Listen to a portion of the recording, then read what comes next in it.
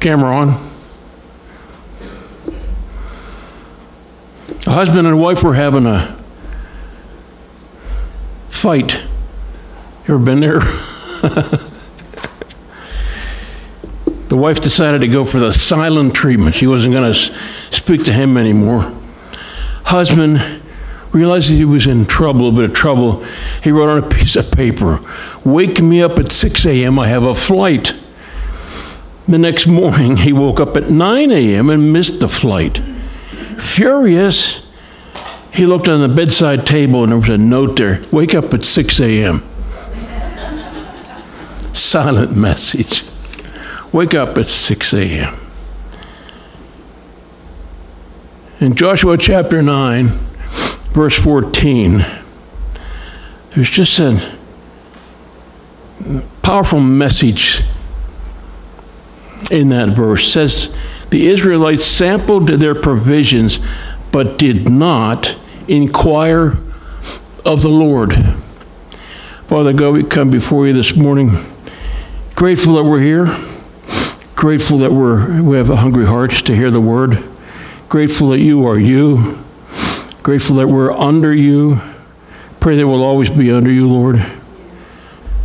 We pray for this message and ask that you bless it to us in Jesus' name. Amen. Well, this message may, may not be specifically for you, but it can prepare you to answer for some of the things that people might ask you, knowing if you're a believer. So these people left God out of their decision.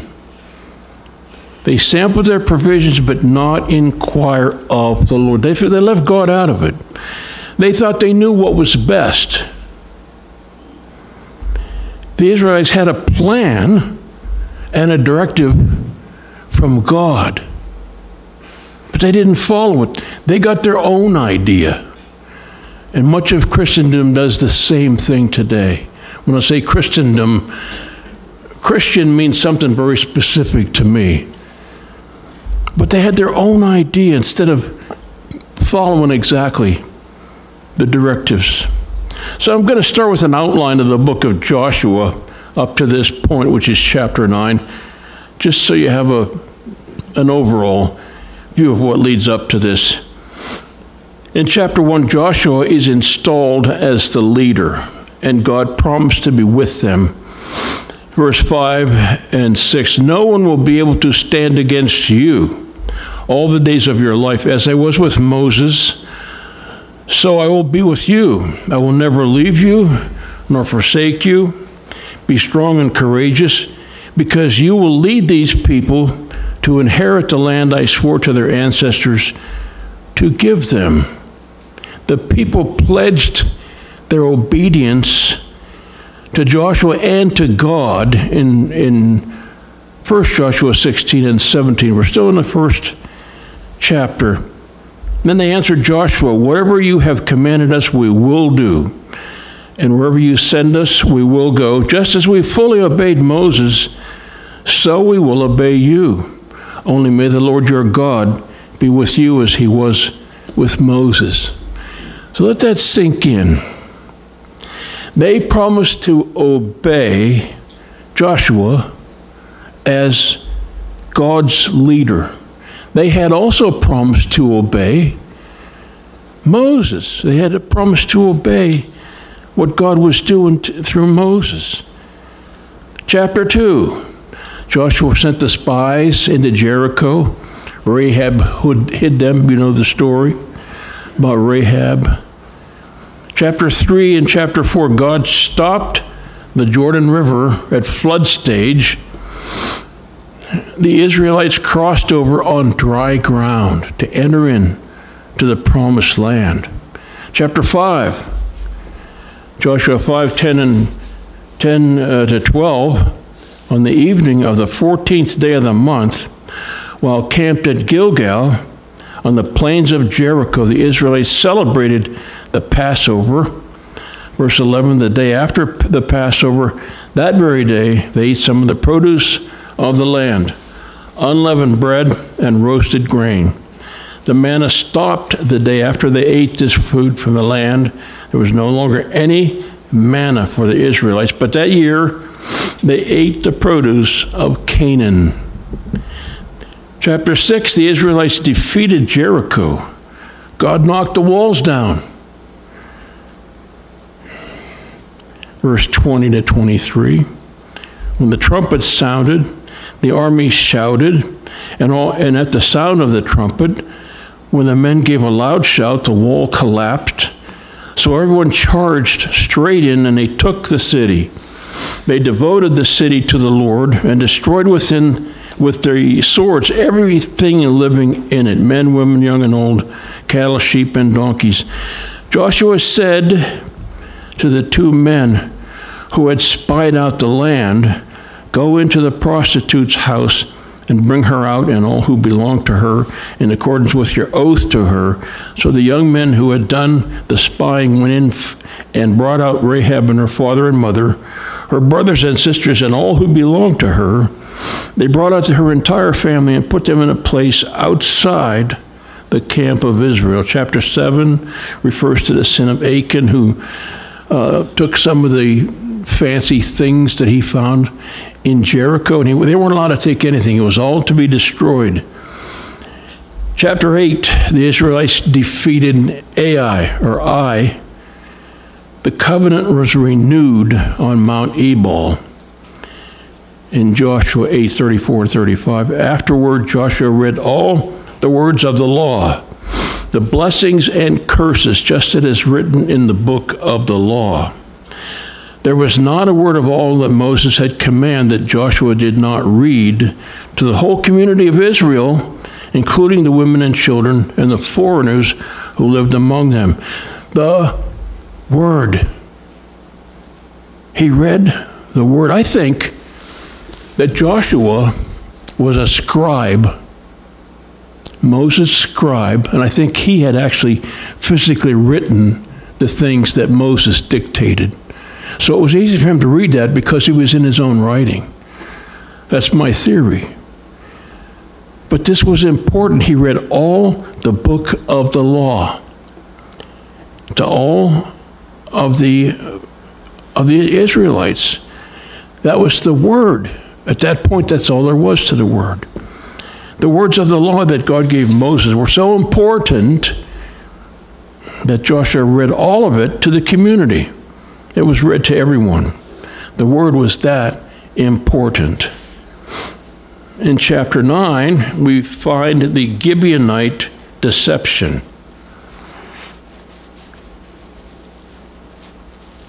This is interesting. The first 13 verses now, when all the kings west of the Jordan heard about these things, the kings in the hill country, in the western foothills, along the entire coast of the Mediterranean Sea as far as Lebanon.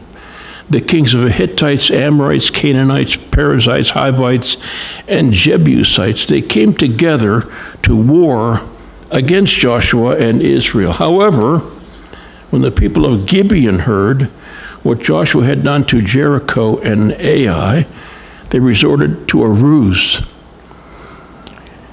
They went as a delegation whose donkeys were loaded with worn out sacks, old wineskins, cracked and mended. They put worn and patched sandals on their feet, and they wore old clothes. All the bread in their food supply was dry and moldy. And then they went to Joshua in the camp of Gilgal and said to him and the Israelites, We have come from a distant country. See, that was a lie. We have come from a distant country. Make a treaty with us. The Israelites said to the Hivites, But perhaps you live near us. So how can we make a treaty with you?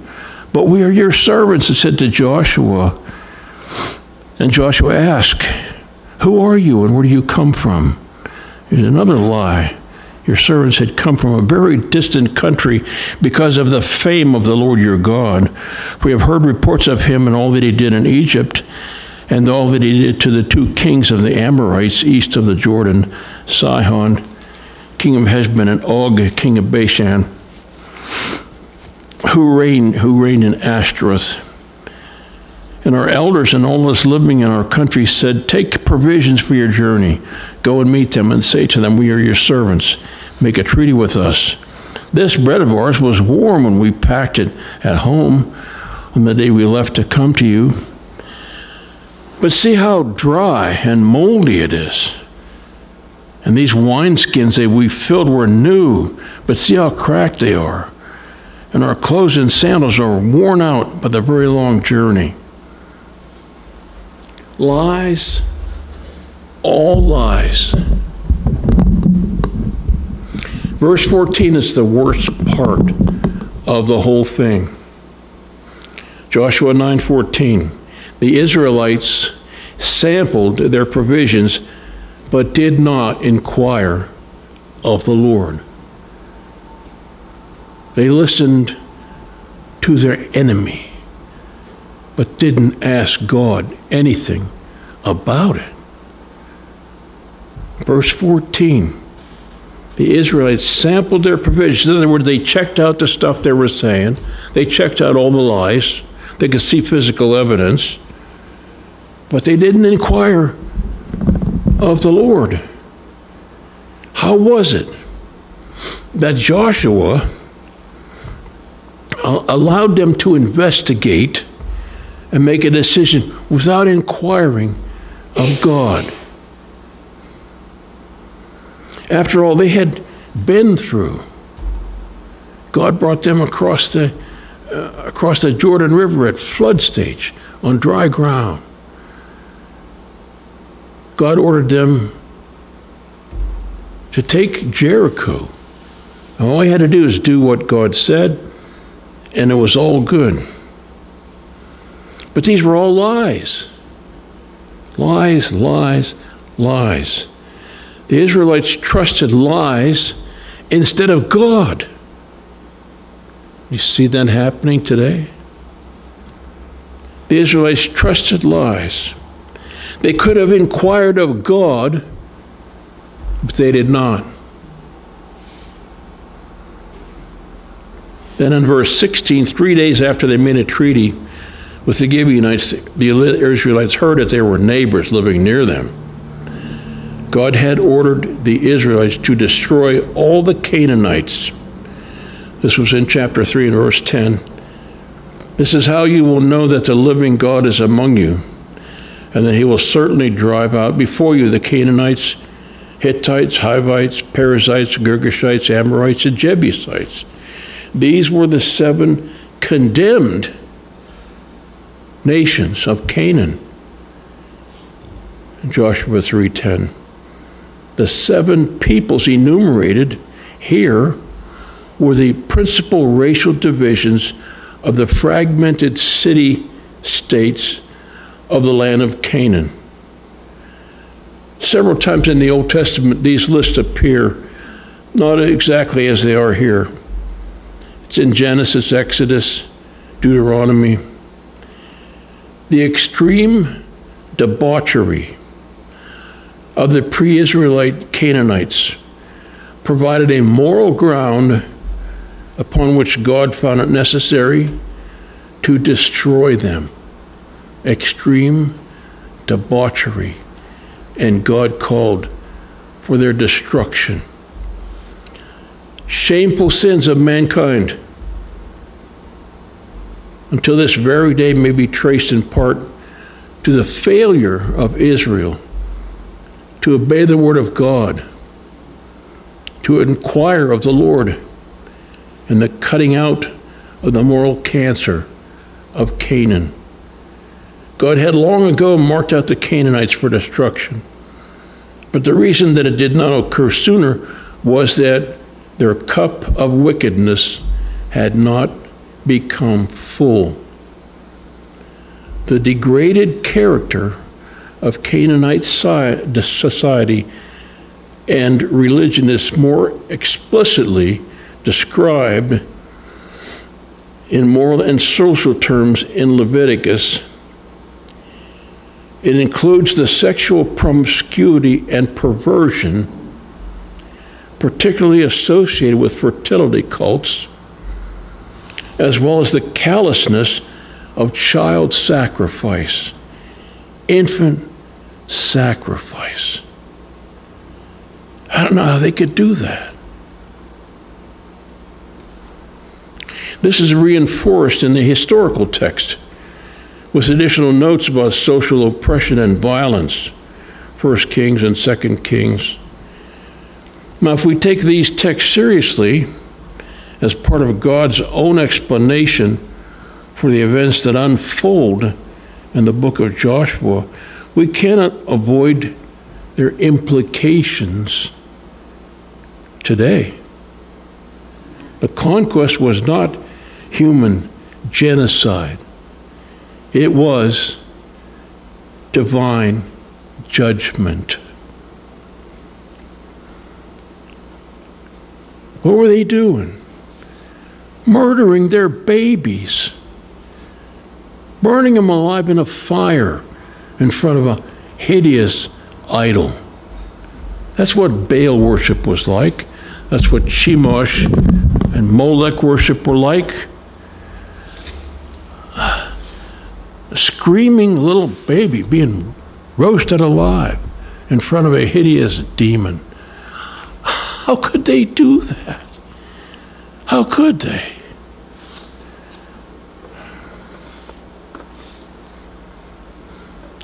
They worship Baal, Moloch, and Chemosh by burning infants alive. They worship Asherah with shrine prostitutes. This is from a site online called Got Questions. Here are the reasons Scripture gives for a commanding ancient Israel to annihilate certain people groups. First of all, to judge the Canaanites for their abominations.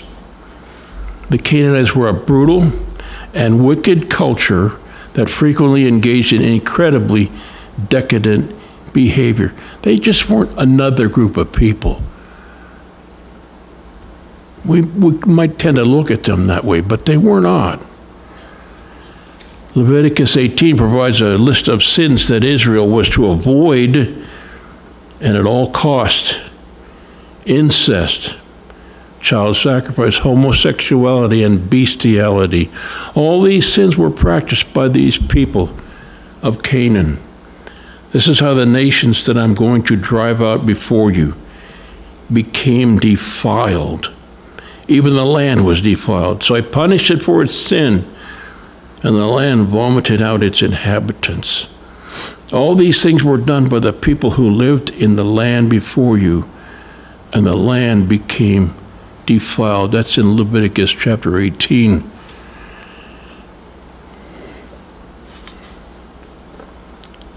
Sounds like what people are doing today, doesn't it?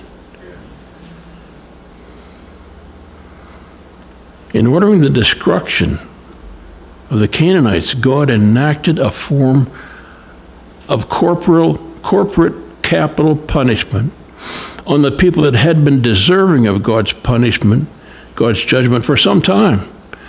God had given the Canaanite people over 400 years to repent, started in Genesis 15. Then came Judgment Day. God could have used any means to destroy the Canaanites, but he chose to use the Israelites as the instrument of judgment. This method not only rid the world of an evil and deeply depraved society, but it also provided a ready made home for God's chosen people, the Hebrews. The Canaanites knew what was coming and had heard of God's awesome power, such awareness should have prompted a repentance, but they remained resistant to God. The Canaanite, Canaanite Rahab was saved, and so was her family. And they are proof that the Canaanites could have avoided destruction if they had repented. No person had to die. God's desire is that the wicked turn from their sin rather than perish. But they did not.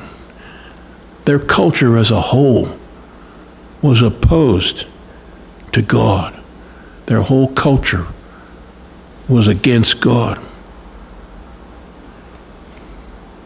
Second, to stave off idolatry and compromise,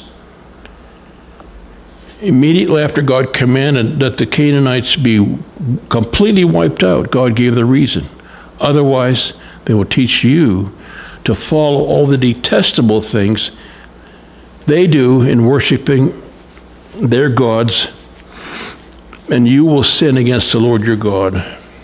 The reason for the extermination was to prevent religious compromise and spiritual adultery. If the, if the Israelites left survivors, the sin of idolatry would follow. And it did. The Israelites failed in their mission and left many Canaanites alive. Exactly what God said would happen occurred. Israel compromised with the Canaanites' culture and fell into idolatry time and again. God's order to exterminate the Canaanites was meant to guard his relationship with his people. Number three, to prevent future problems. God knows the future. God knew what the results would be if the Israelites did not completely eradicate their enemies. The Amalekites were not Canaanites, but they attacked Israel several times and forged alliances with the Canaanites, so they also fell under God's judgment. King Saul was given the responsibility to exterminate the Amalekites.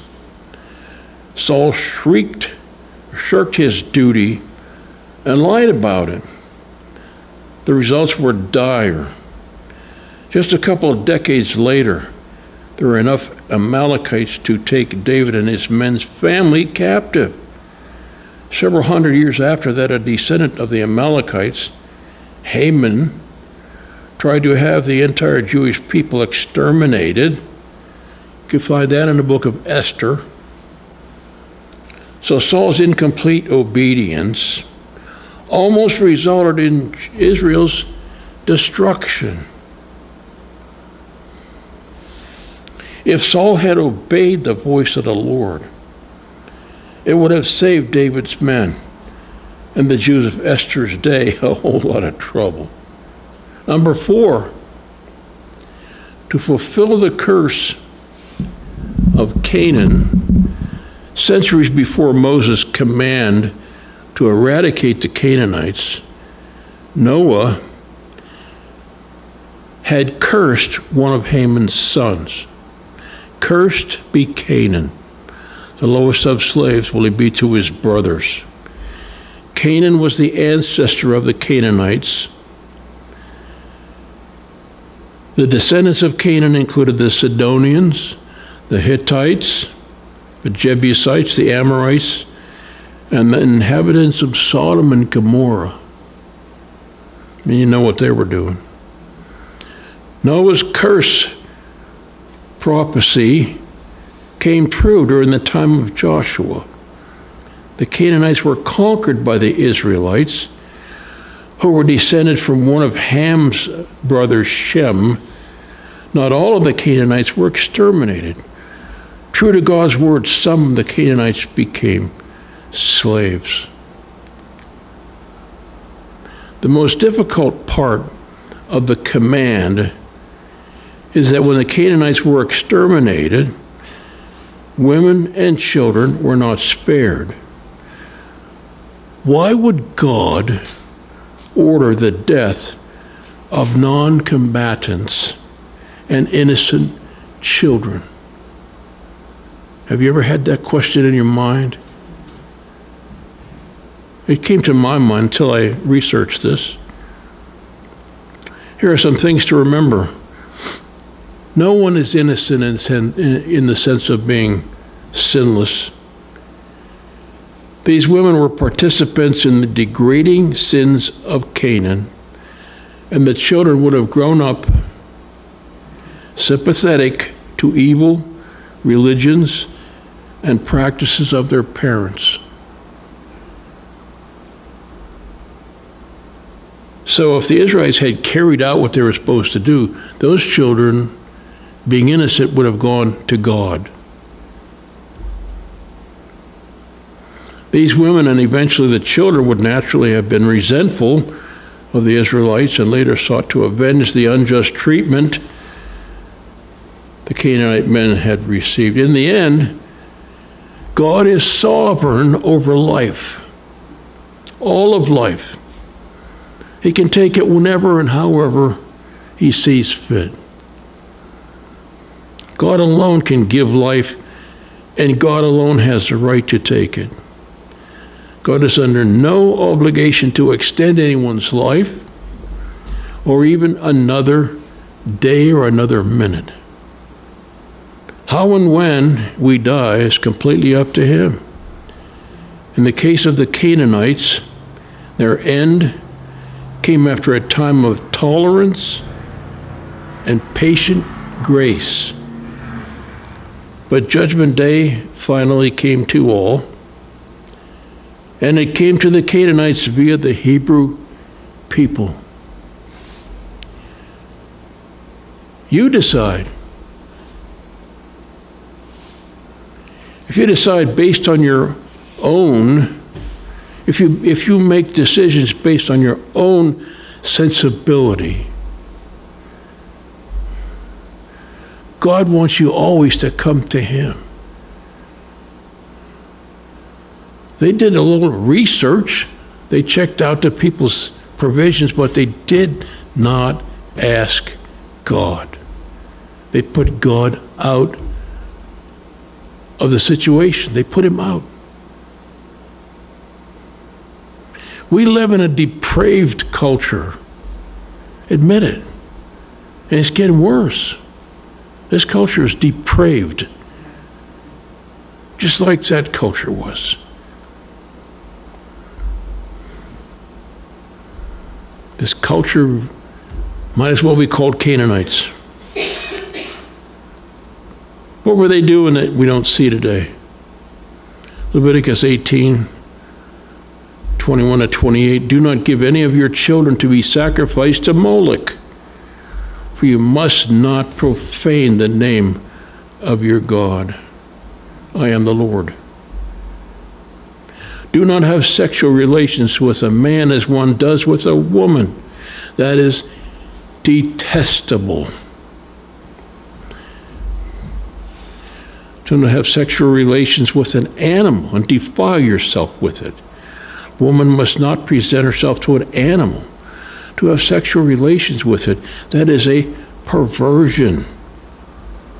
Do not defile yourself any of these ways, because this is how the nations that I'm going to drive out before you became defiled. Was very specific. Sacrificing babies. We just don't wait till they're born. Homosexuality. It's, it's, it's rubber stamped, it's okay. It's not okay.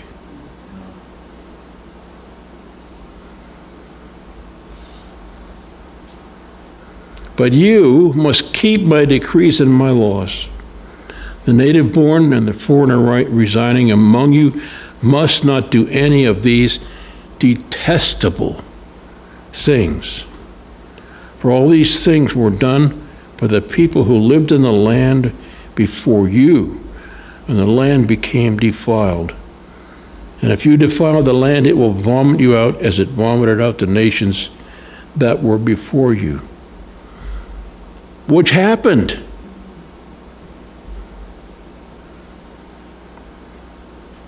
Murdering babies. Depraved sexual practices. You know, the powers that be want us to think that's just an, that's just an alternative. Gender, they have some nerve to call it gender care when they want to administer puberty blockers to children without their parents knowing about it. Call that gender care. Hide it from the parents. You know, if they're if they if they're adults and they want to mutilate themselves, that's okay with me, but I don't want to pay for it. I just sometimes just shake my head. Marxism.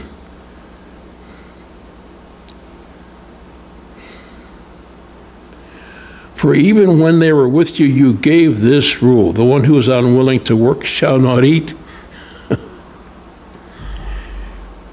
You get what you get because of the work you do. And there's many instances of, of property ownership in the Bible. They owned the vineyards. It wasn't, it wasn't socialism, it wasn't Marxism. Marxism hates God, hates the nuclear family. They want the government to raise the kids. And we're almost there in the schools. And they hate private property. But God approves of all those things. Why has our culture drifted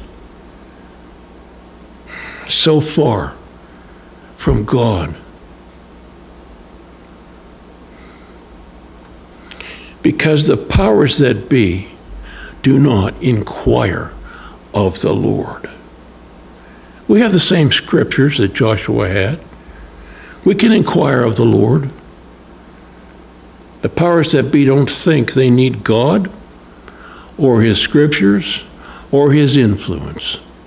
It's mankind making up their mind about things without inquiring of the Lord. All they got to do is look it up in here. Inquiring. And I think they used to do that. Many of them judge God Canada, they call this hate speech because it condemns homosexuality, and anything that does that is hate speech. Can you imagine? This is God's directive for how we're to live.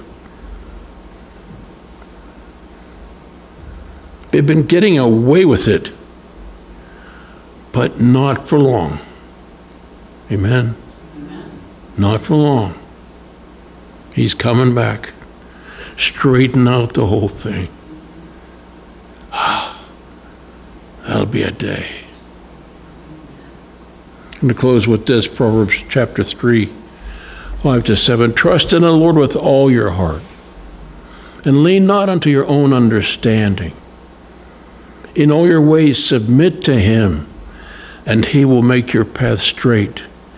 Do not be wise in your own eyes. Fear the Lord and shun evil. That's about the best advice I can find in the scriptures. Amen. You can use that advice for almost everything. You hear people going around saying how they choose a church. Well, the, the speaker is dynamic. They've got to have a dynamic speaker. When it runs around back and forth and shouts and everything. Show me. Show me. Show me dynamic speaker. Joshua just read the word to the people. Did it do any good? Not really, because it was just after that that the Gibeonites came along and they didn't inquire of the Lord. Isn't that amazing? Or they want a tall pastor with a mustache. or they want a woman pastor. I've known some woman pastors. Awesome. Very good. They have a special heart for ministry. We knew one, I met her a couple of times. She was really tall. She must have been six feet tall, blonde lady. And she was learning Chinese and she was going to go to China. And she did. She went to China, and I can speak a few words of Chinese. So the second time I saw her, I said, Ni hao ma. she was surprised I knew how to say that. That means, how are you? Ni hao ma pengyo, that, how are you, my friend? That's about, you know, that's about all I can say in Chinese. But I can say to you, in the language of the Mohawk Indians, Gunaronkwa, that means I love you. Maybe that should be what you're looking for in a pastor. Of course, you found me. but you hear people searching around and going from place to place. Inquire of the Lord. Where should I be? What's important is that you can be in a place where God wants you to be so that you can be encouraged to go out beyond the walls and share the word, share the gospel. That's what's important. Amen. I couldn't stay home today. I felt my body said stay home.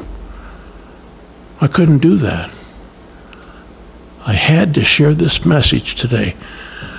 Not that you need to hear it for your own self, but that you need to be prepared to answer things that happen all around you. The Canaanites are about us. The Canaanites are all around us. Inquire of the Lord. There's Christian people that think, oh, that's okay. I just heard one the other day. She, uh, she was a friend of ours. We graduated with her in high school. I found her number. I'm trying to set up a reunion.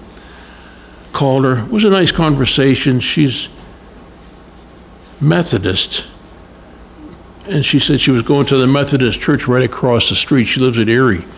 I said, Is that the one that condones gay marriage? She said, Well, yeah, they're all God's children.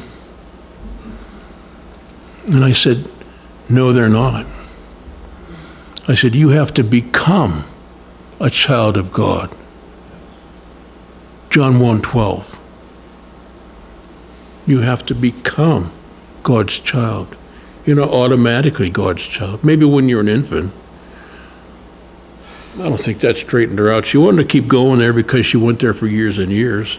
But the Methodist Church just had a big split over homosexual marriage. The Pope said the same thing. I don't know, some sometime in the last year or so, I heard on the news that he condoned gay marriage because, well, they're God's children too. No, they're not.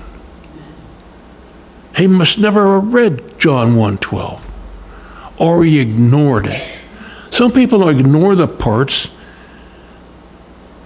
that speak to them what God wants to say, and they read to them that it reinforce what they think, but is actually against God. You know what I mean? They can const- you can take the Bible and construct a negative message in your own heart. Just ignore the parts where God is. well, I'm about done talking now. It's been good to be sitting in front of you considering the alternative because I don't think I could have made it through this on my feet. But I'm going to invite you to stand.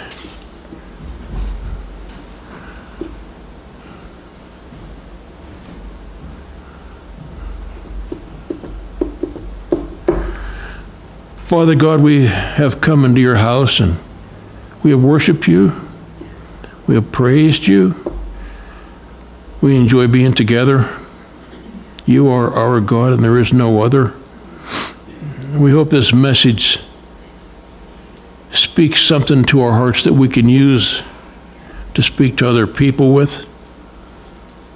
We hope we'll be determined always. Determined always, Lord to stay on God's side of everything and to inquire of the Lord. To inquire, because you are God and there is no other. So as we go forth today, we ask your blessings on everyone in here, Lord. Everyone in here. So we ask you to grant travelers mercies. Bring us all back safely next time we meet. In Jesus' name, amen. I was going to have a board meeting.